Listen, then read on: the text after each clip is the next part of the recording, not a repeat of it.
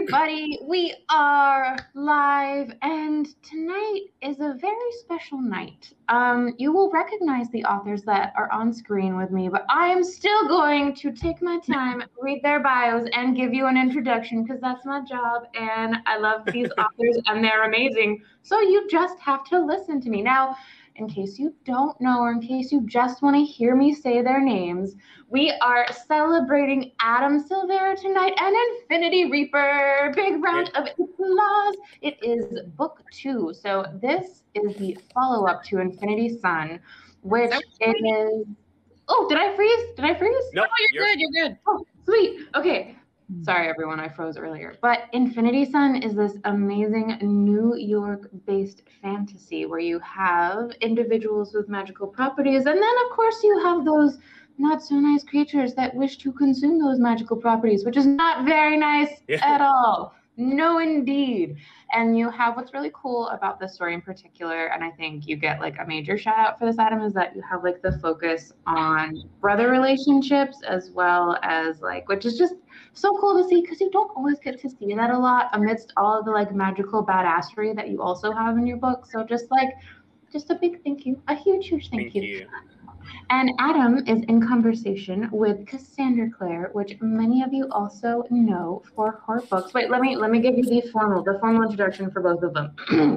Adam Silvera is the New York Times bestselling author of More Happy Than Not, History Is All You Left Me, They Both Die at the End, Infinity Son, as well as Infinity Reaper and What If It's Us. He was named Publishers Weekly Flying Start for his debut. Adam was born and raised in the Bronx. He was a bookseller. Shout out to bookseller awesomeness Oh, before shifting to children's publishing and has worked at a literary development company and a creative writing website for teens and is a book reviewer for children's and young adult novels, which you can tell because you always have like the best book recommendations as well when I like every Okay, thank you. Oh, and but most importantly, ladies and gentlemen, he is tall for no reason. And then we have Cassandra Clare, who is the author of the New York Times, US Today, Wall Street Journal, and Publishers Weekly bestselling Shadowhunter Chronicles. She is also the co-author of the bestselling fantasy series Magisterium with Holly Black. And the Shadowhunter Chronicles have been adapted as both a major motion picture and television series. So now that we have the formal introductions out of the way, we are going to get in the fun conversation between Adam and do you prefer Cassandra or Cassie? Cassie's fine. Okay, sweet. And Cassie. And before I relinquish total control to them, everybody knows to ye old right hand side, we have our lovely chat section. If you look down below, you will see where it does indeed say, as Ivana White, ask a question. That is where you can ask a question for our authors. Make sure you take advantage of that button. They are at your mercy. And it's also what makes events super, super fun.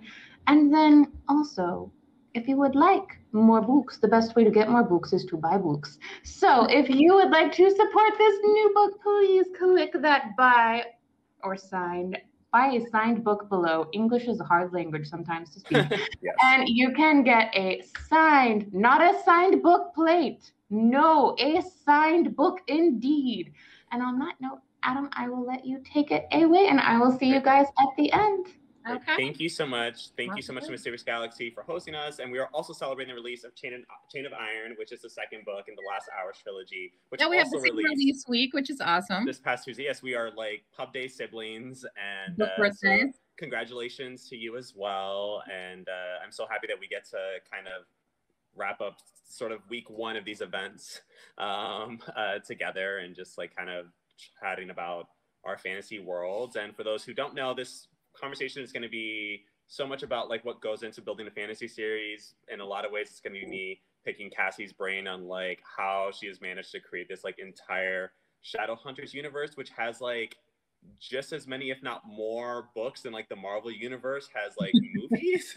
um, and there's like a whole company like behind those Marvel movies and like keeping things together. So I'm so excited to learn more about the um, the Shadowhunters uh, squad that is like keeping things running smoothly over there. Uh, but yeah, thank you so much for uh, for joining me today. Well, I'm happy to be here. I'm excited to chat with you about your world. Um, there's interesting overlaps where our work is has some touch points. The set in, you know, the first series I wrote was set in New York. Yours Yeah. is set in New York. Um, there, I have a mm, you know a large amount of different magical creatures doing different things. You've got Celestials and Halo Knights and Yeah. you know, blood alchemists and all sorts of exciting Yeah. stuff, all doing different things and having different powers. So I think you know there there are a lot of points of commonality that we can talk about. Yeah, for sure. And I mean, it, it really is such a special conversation for me um, right now because, as like Cassie knows, and as like some people who know if you've read like a single interview of mine in the past, um, that like a lot of my origin story with like sort of like moving into writing queer characters like comes from reading City of Bones, which was of course like the first book, the premiere of the Shadowhunters universe, and um, and you know, like I remember reading the cal- uh, the character Alec, and I've always said that I like I don't know how, but I had 19 years old, I had a gay vibe from him, and I didn't know that I was like like projecting or whatever um, and then to like see that on the page and then to watch the sort of romance develop between him and magnus this like awesome bisexual warlock who we all know and love and he's iconic and is like the definition of iconic and um, and you know like i am such a slow reader. Like i am i like between add and just like not being like a fast reader in general like it's so impressive and speaks so much to my love for that romance um, that i read the entire trilogy like within a week, you know, and these are not. They're not short books. books. no. Um, and there's like a lot happening and you know, your your feels are demolished a lot as well. And I um, but it really meant that much to me. And I just remember also thinking that it was just gonna be a trilogy at that point. Like that's how far back I went with this series, you know, that it was like just a trilogy, right? So I'm I'm so um curious like uh, as like sort of just like kickoff like were you aware that it was going to be able to expand into like what it is today or when you were first writing the story like did you just have sort of a trilogy in mind Well, not what it is today, which is Yeah. like, you know, very big and sprawling and complicated. But I knew I wanted to do more than three books. It's just three books. You know, I would nobody knew who I was, and this was my Yeah. first book ever.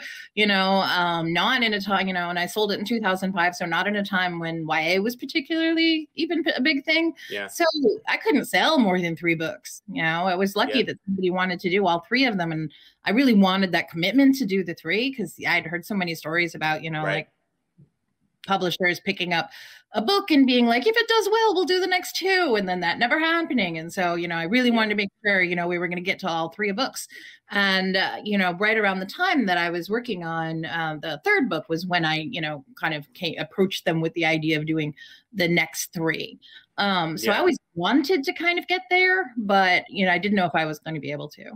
yeah i mean did you at what point did you start thinking about different time periods because you've done prequels and stuff like that like when did that sort of start floating into the process for you Um, I was working on City of Ashes actually, and I was in London doing pro- promo, and I was really excited to be there.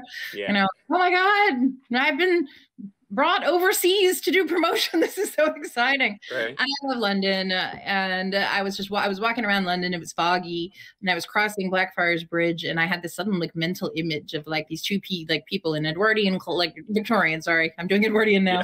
uh, Victorian clothes, like on the bridge, and like in the fog, there are these sort of like big metallic monsters kind of coming at them. They haven't seen them yet, and I was like. Ooh, and you know, you sometimes, I mean, we all sort of like spark off of different things, but sometimes you see something, or you have an, Im- an image in your head, or a mood, or even or an aesthetic, and you're like, what is that? And you keep poking at it, yeah you know, until it becomes a story. And so I had the idea for the Infernal Devices, I, like pretty early on, you know, and and I approached my editor being like, I want to write more Shadowhunter books, and they were like, Oh, great, more, you know, Clary and Jace, Mag- Magnus and Alec, and I was like, Well, Magnus will be in it, but it's set in, you know, 1878. Like, oh, that's crazy, and they're like people YA they don't read historical. Right. Like, And, and here's the thing. I don't read historical. like like when, when people ask, I'm, I'm always like curious. Like I ask authors, like, what genre like will you like never write? I'm like, Mhm. I'm never writing historical. Like that's my answer. It's like for me, if I'm writing historical, it's like you don't want to do, or 1990s. you're just not interested. the what? Is it the research that fills you with Oh, horror? it's or are you just like- like yeah.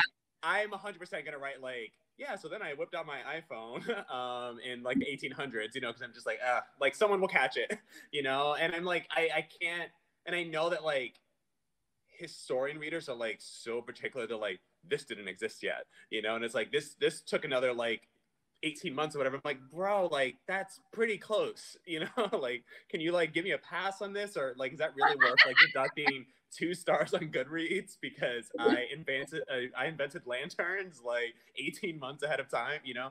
Um, so I just I just can't bring that stress into my life. Cassie, I just like I'm I'm gonna I, I'm like I'm already nervous about doing something in the 90s because like the time I was born because I'm sure I'm gonna like get something wrong about pagers, you know, and I just I can't. It's too stressful. Right. When did people exactly acquire the ability to text each other? Kind of right. I yeah, mean, like, everybody in, in City of Bones has a flip phone because that you know they had flip. You know that was it. That we didn't have smartphones, and so right. I get like I get emails from people being like, "Why does Alec have such a stupid phone?" And I'm like, "What's what, what's available?" Yeah, because you don't have like timestamps in your novels either, right? Uh, like, no, I mean, there's not. They're not spec. It's not specified like exactly when they're taking place, but yeah. you know, when I wrote City of Bones, and I think we all we all often kind of do this, it's taking place in present day, right? And your present day is always going to be marked out by you know what what what's available to you in the present. You know, yeah. I didn't know that there would ever be phones that you didn't flip to use. In fact, the first person I know who got an iPhone was Scott Westerfeld, is also a Y oh author. And he was like, I bought this phone. It was seven hundred dollars, and I was like, that's the stupidest thing I've ever. and now they're a thousand dollars. I was like, what's a phone? Why would you spend that much money on a phone?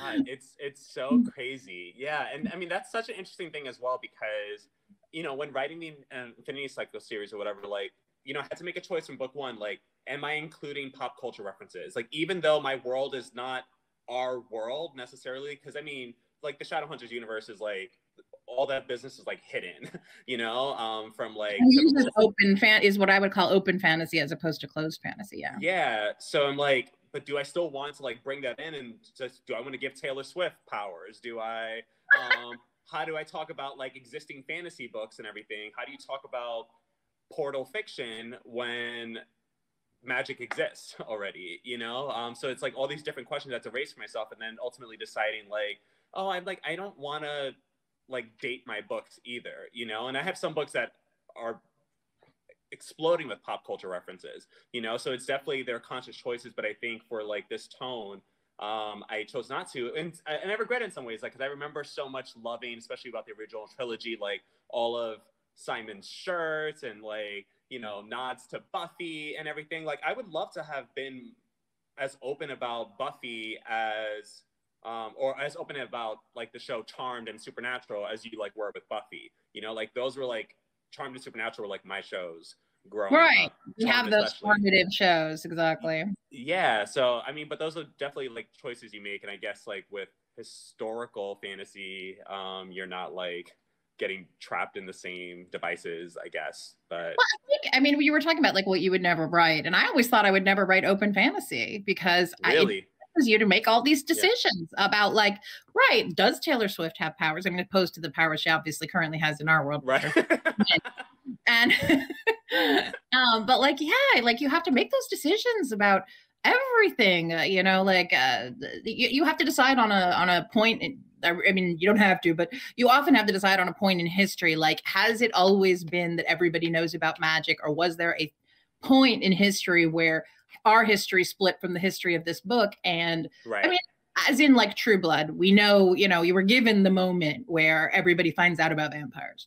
Yeah. You know, um, or is this are you creating an open fantasy world where people have always known about magic and magical creatures in which case you have to reimagine the entire path yeah. of you know the all of world history. Like, was Queen Victoria a vampire? Right. and I was just yeah. like, I never want to deal with that. So I actually admire that that you did. It's interesting yeah. that that where we think, oh no, I don't want to do that. No, and it, it's I. I, I love the open world fantasy stuff so much too, and I if I learned like a misstep from it, it's that you know for me the magic has like always existed in the world so my characters, like especially when I'm in like first person perspectives, like it is their interior narrative that I am like most protective of. I am not like putting myself always at service to the reader. Um, Mhm. You know, like I'm not gonna, s- you know, if Emil and Brighton, the main characters, are thinking about celestials or whatever, they've always grown up with celestials. They're not gonna stop and just randomly think four paragraphs about celestials in service to the reader, right? Um, and Right, you have to figure out how to intro, and and I've had that a little because in the first two series I wrote, I dealt with you know people who weren't Shadowhunters coming into the world of Shadowhunters, so we Exactly. could learn with them what Yeah. Shadowhunters were, and then by the time I was writing the Dark Artifices, Emma, the main character, is a Shadowhunter. She's always been a Shadowhunter. So the question was how, right? Exactly the same thing. Like how do you create this? You know, how do you impart the information to the reader in a manner in which you know it's it feel, feels organic and it isn't like Emma thought about the laws and rules that governed her world. right, yeah, and, like that. and I'm so careful that because I know that it's like one of my like um peeves in reading you know like and not even just like fantasy like a- across the board you know where i'm like okay i am like being spoon-fed something that does not feel true to the character's like original line of thought it feels like the character is like freeze frame um backstory backstory backstory and then and play you know um, and i'm Yes. like no like there had to have been a way that this could have been organically introduced to the reader while it still remains true for where the characters are at did not work for a lot of people with Infinity Son that approach. So Mhm. with Infinity Reaper, I was like, cool, you guys, you want more backstory? You want more freeze frames? I will give you some freeze frames. Like all good. Um, well, I like the way and Brighton about, they, you know, they were always been, you know, fascinated with the idea of being celestials and in the manner that kids want to be superheroes, except, you know, in their world, Yeah. superheroes for real. Right. Yeah. And I mean, and that was me. Like, I was absolutely that kid who, my, my brother, he's two years older. Like, he always wants to be the hero. I always want to be the villain. And uh, so, like, he would design his own heroes. Then I would create, like, the counter antagonist and everything. And that was, like, our vibe, you know? And it was, like, so fun. Uh, but yeah, it definitely was, like, a good lesson. And, in some ways, I wish that I had had um, done the closed world fantasy so that Emil and Brighton could have been fed those those details like organically um you know but i really love being able to do magic in a world of youtube and instagram and like watching how social media so fun. Yeah, exactly. Like, you have to kind of, you know, keep the Shadowhunters cordoned off from the regular world, you know, and and it is there is always the question, not just of like what would date the books, but also what would they be likely to know, given yeah, that sort of separated off from mundane culture. So I did like the way that you're you're able to, you know, I like reading open fantasy. I'm just scared of doing it. right. yeah no I I, do really like the way that you're able to integrate, you know, things like, you know, technology, like YouTube, like social media into the fantasy world. I also I think it comes from X Men being one of my earliest inspirations as well. Like I was a big X Men fan growing up, like Saturday morning cartoons especially, and you know, like I love that everyone knows about mutants, and and then we get to see mutants sort of like the injustices sort of falling upon them as well, and also knowing that I wanted to kind of explore the same things um, in a political respect to the Infinity Cycle universe and everything. So yeah, I mean another I mean I have loved so many characters for years, like across the years too. And I, I am curious, like, were you ever sort of like at a point where you're like, because you you do have like a cast of characters like per book. Did you ever sort of wrestle with how many characters you should include? Because that was something that I went through. I was like, is it one narrator? Is it two? Is it four? It's four. Um, but like I was scratching people out. Like, did you ever consider at one point for City of Bones, like I'm just gonna do Clary? Um, or did everyone was everyone else always there? I think everyone else was there or came into everyone that came into being that I recall pretty much got included, but there are definitely in later series there were characters that I cut out or cut down on because it's unwieldy to have so many characters and like coming up with characters has never been my problem. Right. You know, I have like I have an enormous amount of characters in my head that get get generated, but like yeah, definitely I remember and and and I tend to be I tend to share a lot with my readers online, kind of talk about the process and talk about you know the books even you know before they're published. So I remember when the Dark Artifices came out, they were like, "Weren't there nine Blackthorns?" I was like, "No, there are seven. Yeah. There were nine. I got rid of two of them. They don't Yeah. exist anymore." Yes. And like you know, it, it, you have to make those decisions. I mean, I actually wanted to ask you about that because I know we briefly touched on the the dreaded continuity error, which happens to yes. everyone. I try to comfort myself that apparently Thackeray submitted over 280 continuity error corrections for Vanity Fair until his publisher stopped taking them. Oh my god! I know it makes me feel better. yeah, I'll take that. Right. So it's it's an interesting thing, I think, because there's that tension sometimes of of what you have either what has gone before or what you have told your readers is coming, and then what you realize the story needs. So yeah. I'm kind of curious about how you deal with that. Yeah, because I'm I'm much like you, where I am open about sharing a lot of these things on social media as well. Like, uh, you know, I'm just like I'm like, oh my god, I just wrote this like new um, love interest or whatever. And then it's my first time meeting the love interest, and I'm like, oh, they have zero chemistry. and I don't think this person's love interest anymore. So I'm like, but what do I do? I've told people this exists, and I'm like, I'm going to, I'm gonna not worry about what I told 20 people online, and I'm gonna be in my story and live in that space because that's where it's actually going to live on. Like you're not going to like turn the page and find my Instagram story, you know, like you're going to find like the next page in the book. And that's what I have to honor. And I mean, I'm not, you know, going back and changing anything that's already there, but right. it, it is, um, you know, and I, I'm, I'm, I am curious how you manage to stay on track with like making sure that you have so much continuity, especially when you have a character like Magnus who is like has just like for so long and have so much stuff Yeah, I mean, has, has, lived so many lives, you know, um, and has like engaged with so many of your protagonists across different series and different timelines. And um, but then beyond that, like even just in a contained trilogy, it can be really difficult to just make sure that a person's eye color didn't change, you know. Um, so like, how you gone about that process in this like expansive world of yours? I mean, even eh, when I first started, you know, I kept all my continuity notes in my notes about characters and history and like a, you know, one of those files labeled miscellaneous or something, the worst thing you could possibly do. And over time, I started, as the world expanded out, especially once I had, you know, like a prequel. And then I think this was really like, so the Bane Chronicles is a series of yeah. short stories about Magnus Bane and it touches on all these different periods in his life. And it was right around then that I was like, this method I have of keeping notes is not sufficient, you know, yeah. because I was working with co-writers too, and they needed to like be able to access all this info. So even though they'd read the books, it's not the same as memorizing every single detail. And so I created like a Bible, like a story, you know, like you know how TV shows have a story Bible. Yeah. They'll have all the details about the characters, and the backstory and magic and weapons and history and how everything works. So I tried to create that. Like went through all the books, color coded everything. Oh my god! Oh, and then trans, you know, like so yeah, character details were yellow and history was green and you know magic was blue, and then try to transferred all that over into this sort of like store searchable story bible thing so you know that it, that is what i do and i'm curious how you keep everything straight in yeah i mean your fantasy I just, world I just have um, a Scrivener doc that has all my info. Um, so it has because I, I can't write in Scrivener, like my brain just doesn't process it that way. But also, I write you keep your notes in Scrivener.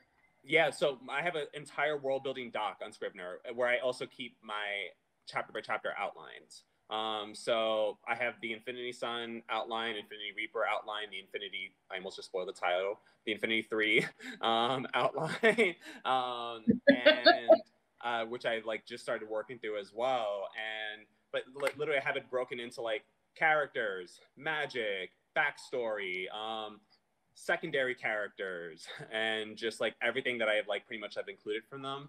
Um, uh, no, someone's asking me to spoil the title. I know, I saw it. also, guys, I love Emil and Ness. That's not what I was talking about. Uh, I, I, was talking about characters of romance that you won't be rooting for because. Like to see you reassuring them. Never reassure people. Yeah. Okay. Oh, yeah. Maybe I am talking about Emil and Ness. See, I'm taking tips.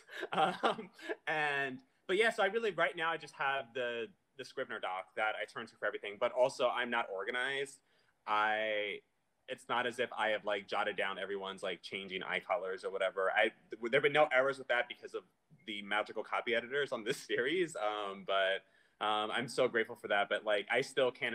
That must be such a daunting task for whoever is like keeping. Oh my my poor copy editor. Yeah, I mean, Yeah. I they have their own story bible over at Simon and Schuster with all the you know details and stuff in it, and they do often, you know, absolutely copy editors are your sort of last line of defense in a lot of cases. yeah. No, um, I'm I'm gonna I'm interested to see how long you can hold out without like a Yeah. like a story bible type thing because you have a very complicated world, you know. Yeah, and I, I think for me, it's um, I'm so I'm grateful to hear that because everything feels so natural to me because this story has been with me for like the better part of a decade, you know. Um, so this didn't just sort of like um, I mean, it's been in it was born in like different incarnations. It was like a dark fairy tale for like middle grade readers at one point. Then it was also like an adult novel um, at an when I was younger. I don't. It's so funny that like the older I've gotten, the like the younger the category has like gotten. But like, because when I was like 18 or 19, I was writing an adult fantasy series, and I was writing about heterosexual protagonists because I hadn't been Mm. exposed to City of Bones yet, and I didn't realize, oh, wait a minute, we can be gay in fantasy. It's not just like coming out stories, which again, I wasn't reading. I I was a fantasy fan.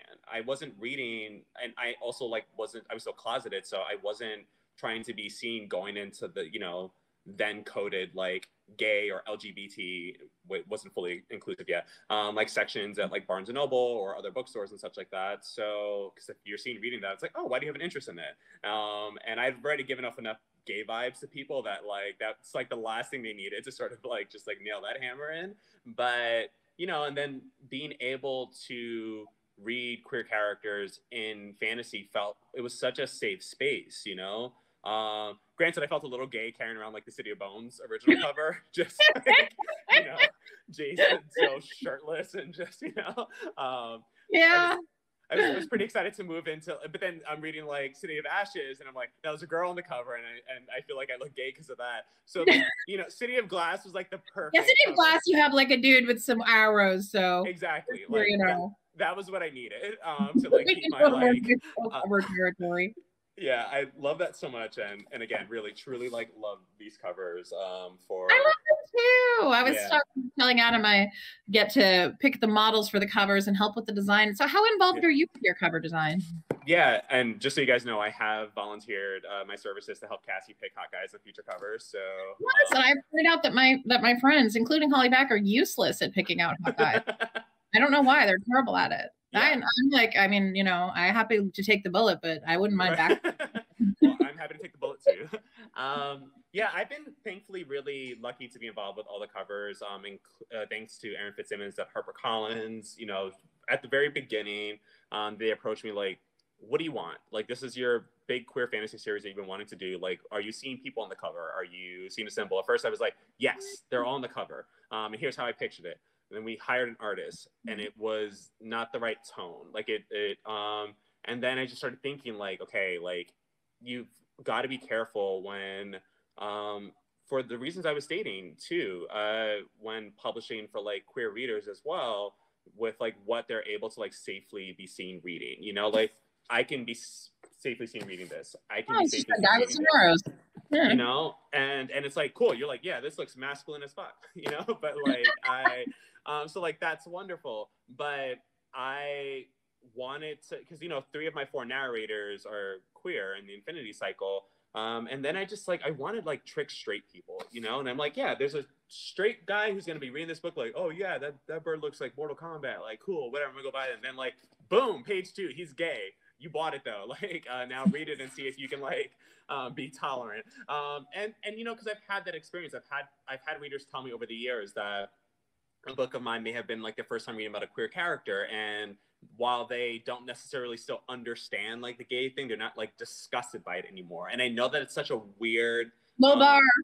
con- yeah and i'm like but i'm so grateful for it especially when it comes from a teenager because i just have such high hopes that like they're going to break free and emerge as like a totally like liberal awesome person um so, Right. so and I, again, it's just I've definitely had those interactions, and it's interesting now because 10 years later, really almost 15 years later, I'm starting to get emails from the people who read City of Bones and, you know, and wrote to me about it all that time ago. yeah So I'm getting updates on their lives, and it's just fantastic. I I got an email the other day from a girl who was like, you know, hey, you know, here's our our email correspondence from 10 years ago. I pasted it below. Oh and I know it was really weird. And she was like, I wrote to you because I was like upset that Magnus was bisexual, and you kind of explained to me that he was bisexual and what that Yeah. meant.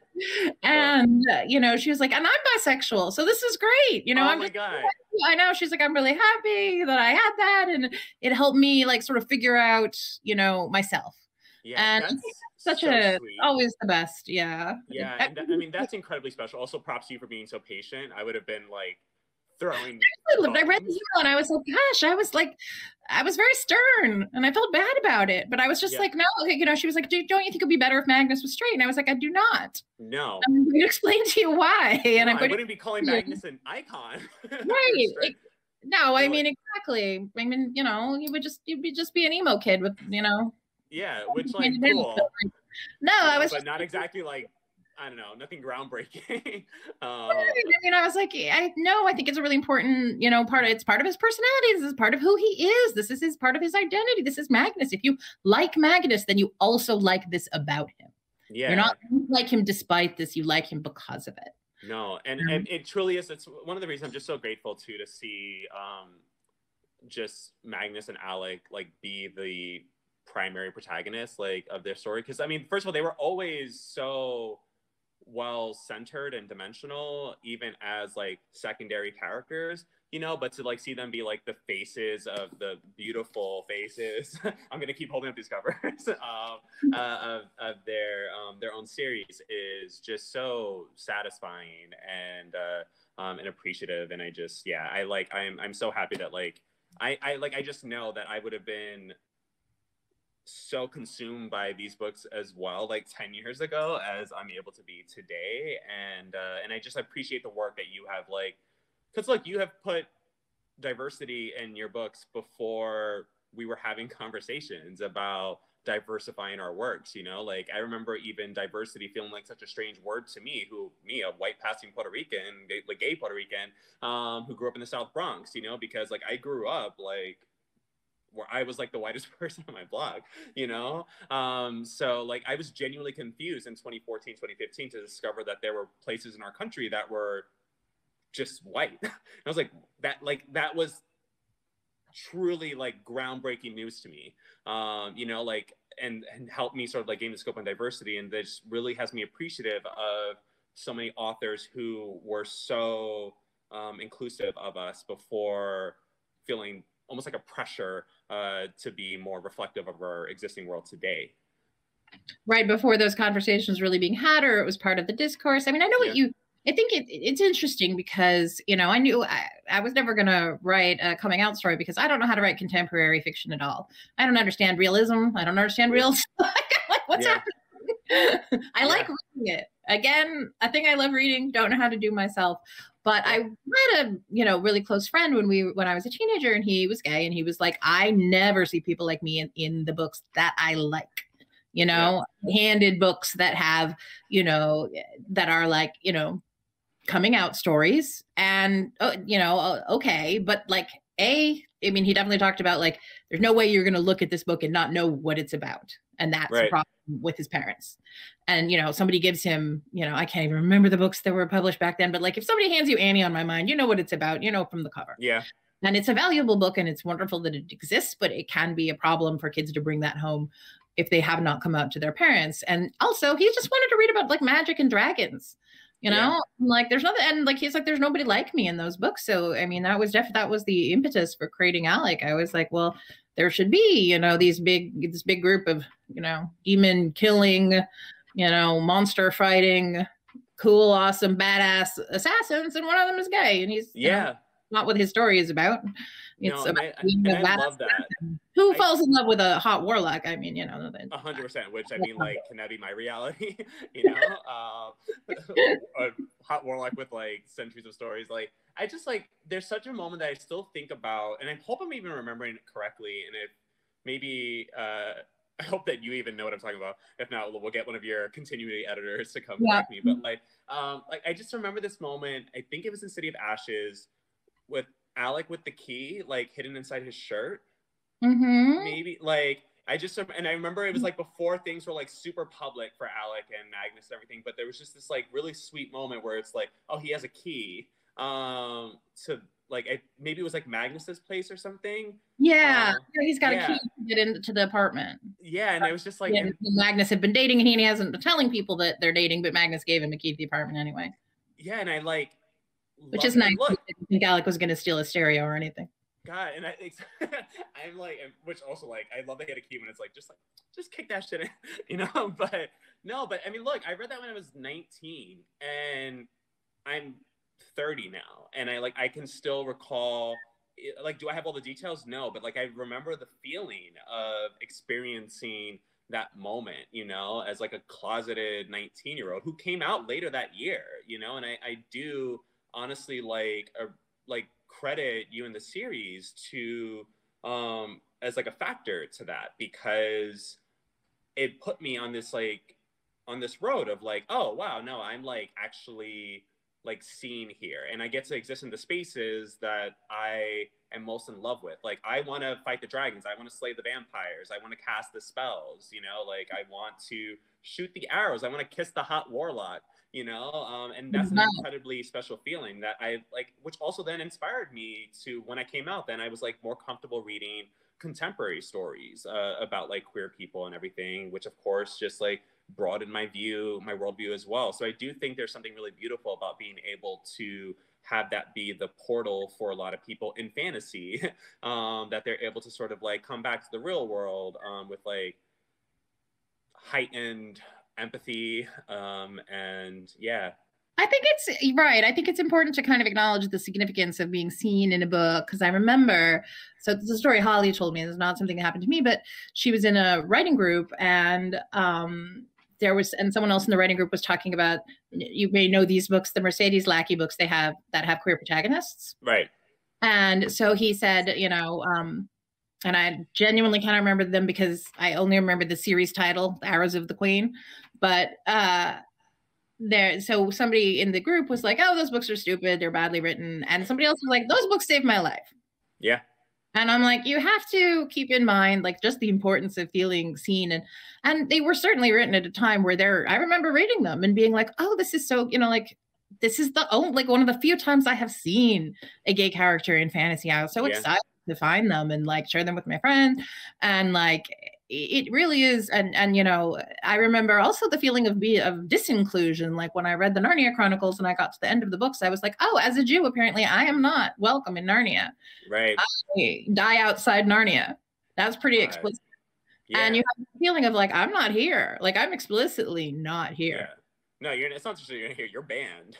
Yeah like, from narnia. I was like yeah was really mad. Yeah. And I was like a kid. I didn't, and like, you know, I just, and I was mad, but I also felt hurt, you know? Yeah, no, that's gutting, you know? Uh, like, I mean, that is just that it's so deliberate, you know? Um, and it's what has been so heartbreaking about, you know, like J.K. Rowling's comments um, about the trans community, right? Where it's just like, wow, like you are straight up like, no, like there's no trans kids in Hogwarts. There, there are no trans kids at Hogwarts. You're never going to get your Hogwarts letter. Yeah, like that's like, it's just so screwed. And I'm like, and it's so disappointing. And um, like, it really, I'm just like, I'm still like in shock, like over, I'm like, oh, you know, like it, that um it was so, gross shade of humanity yeah. It, it, it, came and I, I understand from people who pay more attention than i do that they're that i guess she had said things before but it came for me it came out of nowhere. Yeah so, it wasn't boom and you're like oh this is really i mean what i thought was this is so hurtful for all of these trans kids who value these books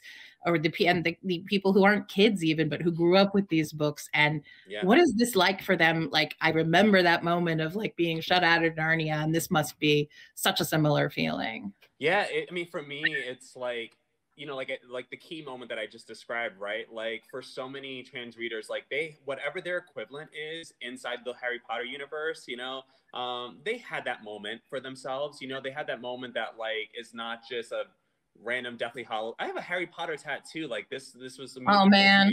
you know, That's um, feeling. Yeah, and it, and it's just like, and there are so many like trans readers who have Harry Potter tattoos and know more trivia than I ever will. You know, and it's like heartbreaking to just like see them like cast out that way. And and you know, and I guess like to that note too, because I know like as the deeper that your worlds go too. Like I know that you even have like progressed with even more inclusion as well. Like how do you go about sort of crafting those characters um, in this sort of like day and age?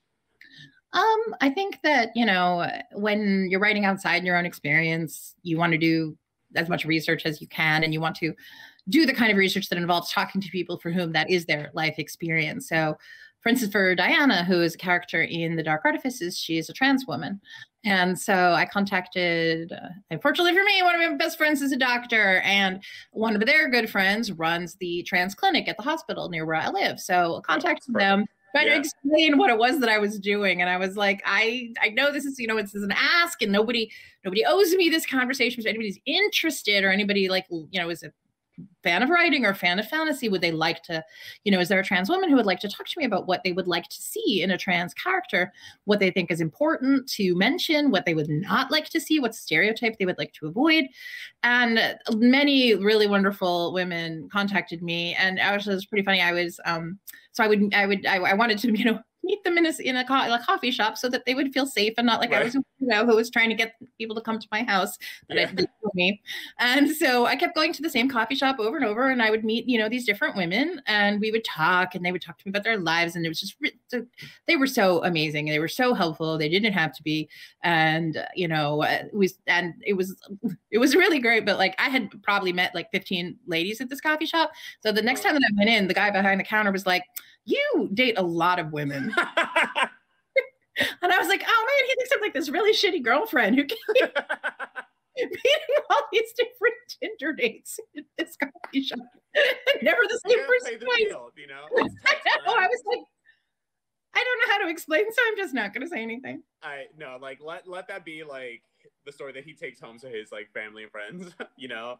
I and I, I love that too. What you said about um going like directly to the person and asking like what they want to see instead of it even being like here's what my idea is um, about like what i think you should look like in a fantasy world like will you sign off on that? You know like i i, I love that so much and i actually i i think that's such important framing you know um and uh yeah because I'm, I'm very much the same way where i'm like i unless i have someone like clearly like in my life who like represents a certain identity like i don't necessarily always feel comfortable like giving them like prominent stage um like in my in my novels because i like i need to know your like i need to be familiar with you at like all levels your joy your pain like your struggles and everything um to feel equipped to be able to like write about that. And like so i know there's like definitely like there's more diversity that i want in my novels as well um and i definitely have a long way to go and i hope to be able to continue to do this for a long enough time that I'll be able to kind of like hit all the marks that I, I hope to. Um, even though I know I'm sure that you will. I don't have any concerns about that. Thank I'm you. actually really excited that you have moved into fantasy as you've moved closer to me. Yes, I am going to keep doing it all. Um, I, I, I, have one last question, and then I'm going to like try to. We'll do a couple lightning rounds. Um, but um, I'm curious, like, so we've inserted a glossary into Infinity Reaper and the paperback of Infinity Son, just because, you know, again, like, like my world building backstory like wasn't there enough of people that like, and there was a lot of characters and a lot of things to keep track of that I was like, cool, I'm gonna create a glossary. Is there? You don't have glossaries in your novels, do you? No, I'm very cruel. I don't. Yeah, like what's the glossaries what's the, in my novels? I'm, I'm on a I don't know. I'm working on a high fantasy novel right now. Um, it's fun and and totally different than doing contemporary. And that's um, and I, hmm? Is that the adult one? Yes, it's adult. Okay. It's called Swordcatcher. Yes. And uh, it's but it, it it is the first time that I've been like, maybe I'm gonna need to have a glossary because damn, you know, I have made up countries, made up cities, made up yeah. languages, and I can't expect everybody to remember all of that. Um, and it's true, yeah. maybe I'm being very cruel with uh, the Shadowhunters books. I know, but it's also like, how do you how do you even just start to introduce it now? You know, like this. Know, right? but I mean, you've got Celestials and uh, what do we got here? Specters, Bloodcasters, Halo Knights. I mean, it's yeah. a lot. Um, yeah. But I mean, at the same time, I think that I need to. It's totally up to the author to include the glossary, include the. Oh, you know what I like? I like a map I love a fantasy map. I'm yeah. getting a, a, fantasy map for my high fantasy, and I'm so excited. Nice. But like, oh yeah, because you, you haven't have you had maps in any? Of no, because it just takes place in the it takes place in our world. Right. I mean, there's a little map of like Alicante, the, the you know the shadow hunter, yeah, magical, yeah. yeah, Yeah. home country city, um, in one of the books. But otherwise, it basically takes place in our world, so there's no need. Um, but I feel like they could have still done a map on like, yeah, so like here in St. Mark's Place, underneath it or like hidden, there's this, and so you know, like, they did do that for they've done that for the historical. So there is a map like Okay. that's just sort of it's a map of London and then superimposed onto it there are like the places that are important, you know, Oh, like various cute. characters. This is Matthew's house, this is Thomas's house, you know, like kind of thing. So we we do get that, which is kind of fun. But you know, having your high fantasy map is that like yeah, I grew up reading you know Tolkien and all of my other my dad's other Yeah. weird fantasy books that he collected, and so a lot of sword and sorcery, a lot of yeah, a lot of dudes carrying ladies around I- leather. for the maps. Um, I'm gonna do like quick lightning rounds before we move into the last little bit, um, where I'm gonna there's gonna be opportunities to win uh, a copy of Cassie's books. You can choose from any book in the Shadowhunters world, um, and you can also win a uh, 10 minute meeting greet with me. Um, so we will get to that in a second. Um, okay, if characters, this is from Trevin. Hey, Trevin. Um, if characters from your books could date characters in the other person's book, who would date who? I feel like obviously I want like Emil with Alec or Magnus. Um, and I, I I feel like I can see okay, I can see Emil with Magnus and Ness our shapeshifter with Alec. um, like I feel like they have similar vibes, or maybe like we just go crazy and do like Ness and our shapeshifter with Magnus, the warlock, um, and just like let that magical baby um, hit the streets. Like I, I don't know, I'd be into Oh, that. someone's shipping Ne- Ness and Alec in the comments. I find that Okay, to be a very a very angsty but hot pairing. I see it. I see it. All right. Um, let's see. Uh, where's Taz? Taz is in daycare. He says hi. Um, uh, let's see. Who would the Infinity Reaper characters be if they were in the Shadowhunters universe? Um, Okay. that's interesting. I, I, I guess like Emil would be a shadow hunter, um, like a resistant shadow hunter. Um, but like What about Brighton? Brighton, yeah, I'm. I feel like Brighton wants to be a shadow hunter. Like Infinity Son Brighton would want to be a shadow hunter, you know, but like he's like not gonna like have not be equipped for it just yet. Um, What I like about Brighton is his is his desire is, is his love. I'm trying to not be spoilery. Yeah, a big move. That is a Yeah. guy who makes a big move. yeah. Not always a good idea, but I love that in a character. Chaotic. Brighton would be a vampire. I think he would like walk into a vampire's nest and be like, you know, Immediately. um, boom. a hundred- he's like, no, I want powers. Like, let's do this. Yeah, I, that that well, right. right. You know what? If you are a mundane, you're right. The best way to get power quickly is to go get yourself turned into a vampire. Yeah, I just remember that like that all the business with like Simon um and the Oh, yeah. trilogy and it's just like ah um yeah so I think yeah I think I think that's where Brighton would end up um he's he's getting powers um and uh, if you're not making him a shadow hunter cool he's gonna go um handle that himself Yeah, he's just like I'm. I'm gonna go get bitten, be a super Yeah. vampire. um I love this one from Mysterious Galaxy uh, uh what creature from your books would you want to be and is it the same one you think you'd actually be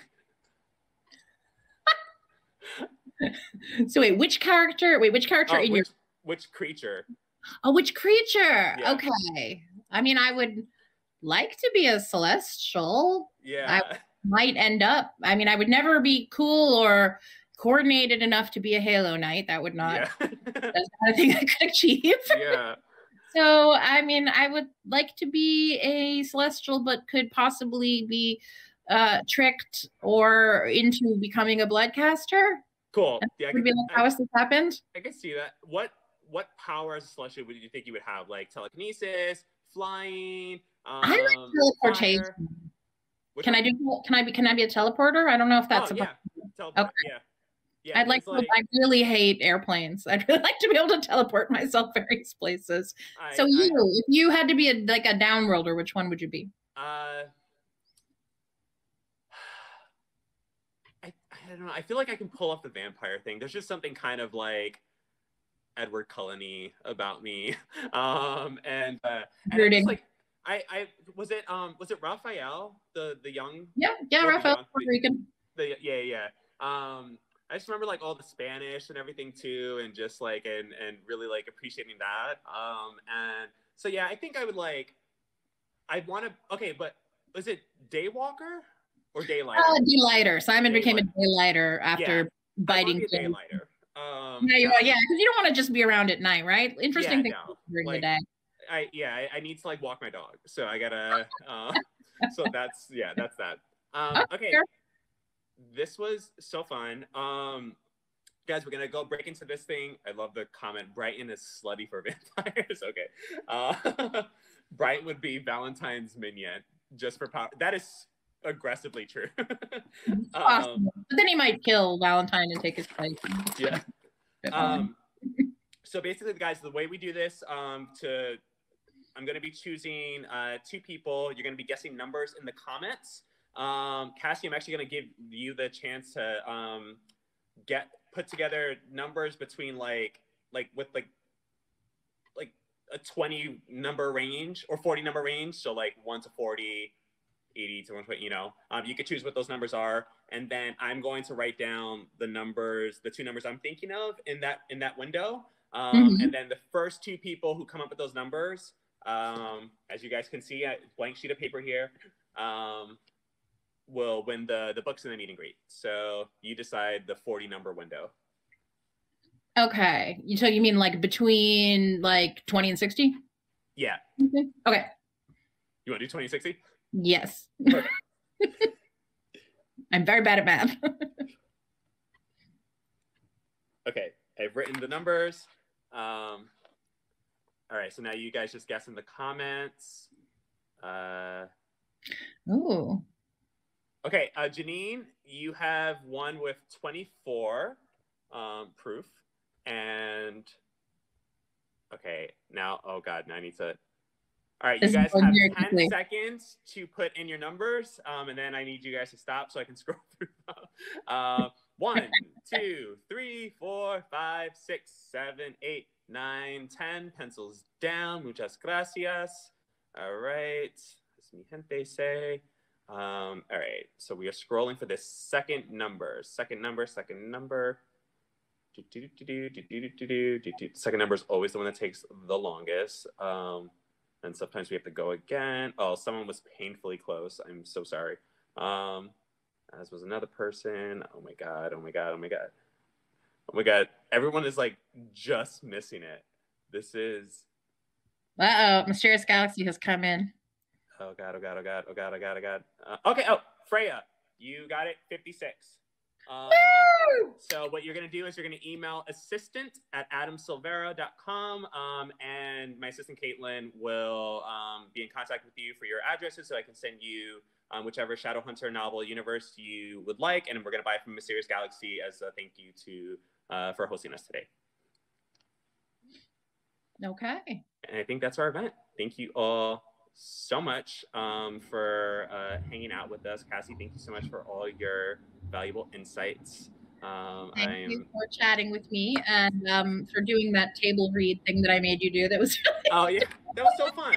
Yeah, it was a nice opportunity to connect with people during, it's Uh, fun. It's, it's nice to see to see other people during the yeah, during the pandemic since I usually you know only see my husband and that's it. yeah. So, but thank you again for including me in that. And thank you again for my boys. Um, I'm so glad you liked Eldest Curses. I loved writing it. It was super fun. It's not over yet. And I merely have to decide which of our sexy guys is going to be on the cover of book three, but you can help me when that day comes. Oh my God, please. I'm ready. I'm ready. thank you. I feel like we would all get into trouble if we went to like a romance book convention where they have the models who do all the covers just walking around. I've been to the romance novel convention. Oh, It is kind of amazing. Is there are all these like, you know, basically naked dudes rocking around and they come up to you and they're like, vote for me because they usually have like a competition for the hottest. hot And they're, "Vote for me." I'm like, that's not hot. Megan's not hot. like, You'd be like, don't ask me to vote for you, and then I might vote for you. right? Play hard to get, Oh, you know. Just, Right. You don't want to just give away your vote immediately. You want to be like, well, I don't know. I mean, you are dressed like an ancient Egyptian, but there is that guy over there who has angel wings. So I have a That lot angel, yeah. Thinking of an angel too. Well, Can you turn into an animal? What's your power? You gotta. I sell met a yourself. werebear oh, at our convention. I mean, he did not, in fact, in front of me, turn into a bear, but said he was a bear. we'll take we'll take his word for. it. We, I think he was just trying to get my vote. Anyway, Yeah. it's very easy to go down the rabbit hole. of having track- me. Uh, thank you, Mysterious Galaxy. Thank you, Adam. It was wonderful to talk about your wonderful books. Thank you. And Thank uh, you. happy book birthday. you as well. Thank you. Cheers. So happy birthday to our amazing authors. Thank you so, so very much, Cassie, so very much, Adam. Everyone, go out and buy their books so you can get even more in the series. That was very enthusiastic because I am passionate about that. And there is the buy signed book, but down below you are slowly being hypnotized by the book movements to click the button. And thank you so much for joining us. This was such a pleasure. For the two winners, make sure Adam, will you give a shout out for the email address for them one more time in case they missed it? It is just assistant singular at adamsilvera.com. Assistant at adamsilvera.com. Um, and her name is Awesome. Caitlin, if you want to greet her like a human being like she is. So, Yes. Which I would highly recommend. So Yes. thank you guys so much. Make sure you email them. Good night, everyone, and we will see you on Good night. the Thank next you. one. Good night.